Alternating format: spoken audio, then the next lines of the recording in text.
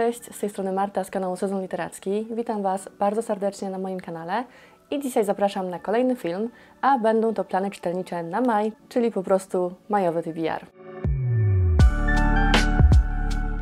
Mam tutaj pięć książek papierowych i dwie, które chciałabym przeczytać w e-booku, ale szczerze Wam powiem, że wybranie książek do tego TBR-u i zaplanowanie tego, co chciałabym czytać w maju, przysporzyło mi trochę problemów, bo ostatnio, mimo tego, że czytam dosyć mało, to jednak w momencie, kiedy mniej nagrywałam i mniej gdzieś tam się w ogóle udzielałam książkowo w social mediach, to poczułam taką wolność, której już dawno nie miałam, że nie muszę nic czytać, mogę przeczytać to, co chcę, mogę sięgnąć po książkę, o której na przykład wcześniej nie myślałam, bo cały czas miałam z tyłu głowy, że no nie no, przecież powinnam przeczytać to albo tamto. I ta taka wolność i spontaniczność w doborze lektur bardzo mi się spodobała i myślę, że będę to kontynuować też pewnie w maju. Po prostu wiecie, wchodzę sobie na Legimi, przeglądam sobie na przykład nowości albo książki, które mnie interesują e, i sobie tak wybieram trochę na chybił trafił, niewiele wiedząc wcześniej o tych książkach. E, także całkiem mi się to podoba i pewnie częściowo przynajmniej będę to kontynuować.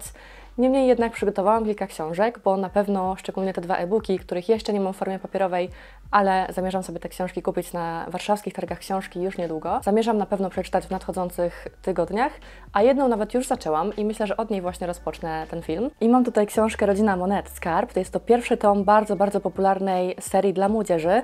E, jest to książka, o której już mówiłam w ostatnim book. Ja tę książkę tak naprawdę dopiero zauważyłam, to znaczy ta okładka wcześniej mi się gdzieś pojawiała przed oczami, natomiast tak naprawdę dopiero zainteresowałam się tą książką i zauważyłam ją, kiedy zobaczyłam, jak bardzo jest popularna podczas poznańskich targów książki. No i stwierdziłam, że fajnie będzie ją przeczytać, zobaczyć, co młodzież teraz obecnie czyta i nagrać z tą książką reading vloga. Także właśnie takiego filmu myślę, że w następnej kolejności możecie się spodziewać. Reading vlog z czytania Rodziny Monet.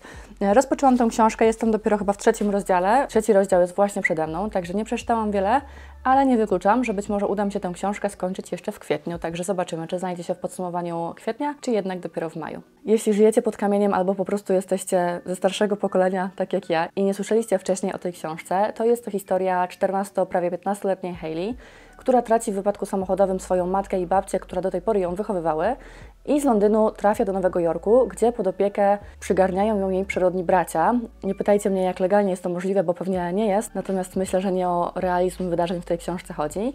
No i ci bracia, tak jak mówię, ja przeczytałam dopiero kawałeczek, więc tak naprawdę niewiele wiem, ale już od samego początku widać, że ci bracia są tacy bardzo nadopiekuńczy i swoją młodszą siostrą bardzo chcą się opiekować, ale w taki sposób, że wręcz ją ograniczać, wszystkiego jej zabraniać, dla jej bezpieczeństwa oczywiście. Wiem, że są tutaj jakieś takie wątki mafijne, chyba czy coś tego typu, także domyślam się, że ci bracia będą zajmować się jakimiś takimi szemranymi interesami. Oczywiście nie muszę dodawać, że są bardzo, bardzo bogaci, mieszkają w jakiejś ogromnej willi. Gdzieś chyba tutaj był wspomniany Manhattan, przynajmniej kiedy um, Hayley jechała z lotniska do tego swojego nowego domu. Także no, brzmi to coś, co rzeczywiście mogłoby mnie zaciekawić jako nastolatkę. Natomiast tutaj szczerze przyznaję, że czytam tę książkę po prostu dla eksperymentu i dla sprawdzenia, czy młodszą mnie taka historia mogłaby zainteresować. Mam też ostatnio ochotę na reportaże albo jakieś takie prawdziwe historie i książki, z których mogę coś rzeczywiście wynieść. I zastanawiam się bardzo mocno nad przeczytaniem Obsesji Piękna. To jest książka, która mówi nam, w jaki sposób ciała kobiet od najmłodszych lat wtłoczone są w kanony piękna, którym tak naprawdę niewiele osób jest w stanie sprostać.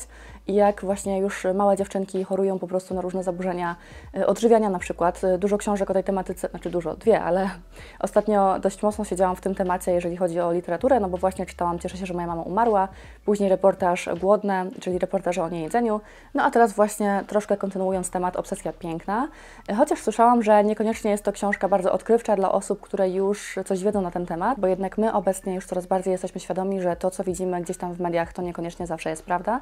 Niemniej jednak chciałabym się z tą książką zapoznać, bo słyszałam o niej dużo dobrego. I drugi reportaż, który tutaj mam, to Nomadland. To jest książka, którą umieściłam w moim TBR-ze na cały 2023 rok. Film na tej książki zdobył Oscara chyba dwa lata temu.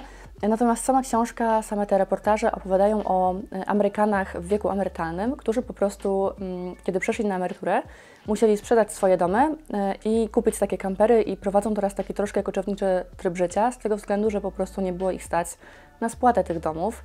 To też chyba jest historia, która działa się po tym takim krachu na giełdzie w 2008 roku w Stanach Zjednoczonych. Słyszałam też o tym reportażu mnóstwo, mnóstwo dobrego. No i tutaj raczej nie spodziewam się, że będzie to zła książka. Myślę, że będzie to fantastyczna, bardzo pouczająca lektura i też chciałabym obejrzeć film, kiedy już uda mi się przeczytać książkę. Tylko nawet szczerze mówiąc nie sprawdzałam, czy jest gdzieś dostępny na tych najpopularniejszych platformach streamingowych. E, wtedy, kiedy leciał w kinach, nie udało mi się do niego wybrać, ale mimo wszystko jestem tych historii bardzo, bardzo ciekawa. Bardzo kusi mnie też Babel Rebeki F. Kwan To jest książka, która zbiera skrajne opinie. Jedni się tą książką zachwycają, inni dosyć mocno ją krytykują i wytykają dużo takich błędów i troszkę takie spłaszczanie tematu, ponieważ jest to historia, która w dużej mierze dotyczy kolonializmu. No jest to kloc, naprawdę jest to bardzo gruba książka, ale słyszałam, że czytając tak naprawdę nie czuć tej grubości, że czyta się ją świetnie, ale jest też na szczęście audiobook na Legimi, także być może jeżeli zdecyduję się przeczytać tą książkę, to będę sobie właśnie przeplatać książkę papierową i czytanie tej książki z wersją audiobookową i słuchanie jej w chwilach, kiedy będę miała na przykład zajęte ręce, a jednak taką wolną głowę, że będę mogła skupić się na tym, czego słucham. Także myślę, że w takiej formie może udać mi się tą książkę przeczytać całkiem szybko. E, no i mam nadzieję, że zabiorę się za nią w maju. Wiem, że autorka teraz niedawno była obecna w Warszawie na targach chyba fantastyki, o ile się nie mylę. Ja się tam nie wybierałam, ponieważ fantastyka to nie jest do końca e, to, co ja lubię. Natomiast tę książkę mam, kupiłam i jestem tej historii bardzo ciekawa. Mam nadzieję, że mi się spodoba i mam nadzieję, że spodoba mi się bardziej niż Wojna Makowa, ponieważ ja czytałam Wojnę Makową i nie uważam, żeby to była zła książka. To była wręcz bardzo dobra książka, ale jednocześnie nie była moją książką, jeżeli wiecie o co mi chodzi. W sensie to nie była taka historia, która do mnie trafiła, od której ja się nie mogłam oderwać. Doceniam ją i uważam, że jest naprawdę niezła, ale nie mam ochoty sięgać po kolejne tomy i zgłębiać się dalej w tamten świat. Myślę, że Babel jest tematycznie czymś, co może spodobać mi się bardziej, także na to tutaj naprawdę liczę. I ostatnia z książek papierowych to jest Łuk Triumfalny Remarka.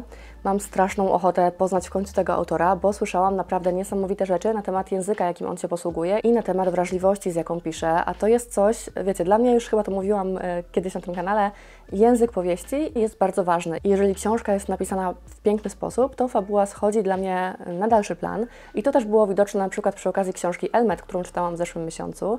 Natomiast tutaj fabularnie myślę, że też będzie naprawdę świetnie, ponieważ to jest książka o tematyce wojennej, Remark chyba tylko takie pisał. Jest to też autor, który brał udział w I wojnie światowej i właśnie po tej wojnie został pacyfistą i e, podobno sposób, w jaki pisze o wojnie jest taki naprawdę przejmujący i naprawdę bardzo dobrze pokazuje cały ten bezsens wszelkich w ogóle wojen. Także bardzo mnie to ciekawi, no i tak jak mówię tutaj też zdecydowanie e, jestem ciekawa tego języka i mam nadzieję, że zachwycę się nim tak jak wszyscy. Jeżeli chodzi o książki papierowe, to byłoby na tyle, natomiast tak jak wspominałam, mam tutaj jeszcze dwa e-booki, które bardzo chciałabym przeczytać w najbliższym czasie. I pierwsza książka to jest coś, co po prostu nie mogłoby się tutaj nie znaleźć, czyli najnowsza książka Jakuba Malckiego Sąsiednie kolory. Tutaj teraz pewnie gdzieś obok mnie wyświetliła się okładka. To jest najnowsza książka tego autora, wydana chyba 24 czy 5 kwietnia, także dosłownie dwa dni temu chyba. Z opisu przypomina mi trochę rdze, bo tutaj też cofamy się dosyć mocno w przeszłość, do 1926 roku i poznajemy historię stolarza, który mm, tworzy trumnę dla kobiety, która podobno umarła z tęsknoty. To jest takie dosyć enigmatyczne zdanie, natomiast jak to bywa w przypadku Kuby Małeckiego, na pewno kryje się za tym jakaś niezwykła, piękna historia. Mamy tutaj w ogóle z tego, co rozumiem, jakby trzy linie fabularne, właśnie z jednej strony tego stolarza, z drugiej strony kobietę, która próbuje zabić kormorana, z jakiegoś powodu. I trzecia linia fabularna to jest y, syn jakiegoś chyba lekarza, który zastanawia się nad popełnieniem samobójstwa, to znaczy chyba on konkretnie w ogóle stoi już na moście i zastanawia się, czy skoczyć, czy nie skoczyć. Także tutaj też od razu trigger warning dla osób, E, które nie chciałyby o tym czytać. Nie wiem, w jaki sposób to jest przedstawione i nie wiem, co tam się do końca dzieje, natomiast to, że taki wątek się pojawia, wynika już z samego opisu i też te trzy linie fabularne w którymś momencie się przetną.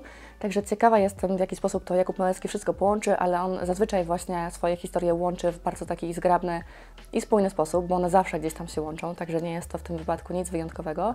No i też myślę, że będzie to po prostu świetna, niesamowicie przyjemna, wzruszająca lektura. I ostatnia książka, którą mam w planach, to jest najnowsza książka Marii Ober, czyli Wcale nie jestem taka. E, tak naprawdę nie mam bladego pojęcia, o czym ta książka jest. Wystarczy mi nazwisko autorki, która napisała dorosłych i jest to książka, która niesamowicie mi się podobała. Zresztą nie tylko mnie, bo jest to zdecydowanie jeden z bestsellerów wydawnictwa Pauza i książka, która jest bardzo, bardzo dobrze oceniana właśnie w tym naszym książkowym świecie. Także nowa Marii Ober na pewno znajdzie się na mojej liście. Bardzo chciałabym tę książkę przeczytać. Nie jestem nawet pewna, czy jest to taka mini powieść, czy jest to zbiór opowiadań. Także e, w sumie może lepiej, żebym nie wiedziała. E, żebym nie wiedziała, czego oczekiwać i podeszła do tej książki z taką czystą głową. E, no i właściwie to by było na tyle, jeżeli chodzi o moje plany czytelnicze na maj. Tak jak wspomniałam na początku, na pewno one się będą zmieniać, na pewno coś tutaj wskoczy, coś stąd wypadnie, bo polubiłam po prostu taką spontaniczność, jeżeli chodzi o wybór lektur. Jest tutaj oczywiście kilka takich książek, które na pewno chciałabym przeczytać i są to właśnie innymi te dwie ostatnie, które Wam pokazałam, ale też Rodzina Monet, którą już teraz czytam. E, co do reszty, zobaczymy, czy się uda, czy nie. E, dajcie koniecznie znać, czy czytaliście którąś z tych książek, co o nich myślicie i jakie są Wasze plany czytelnicze na maj. Ja Wam bardzo serdecznie dziękuję za obejrzenie tego filmu do końca i do zobaczenia w kolejnym. Cześć!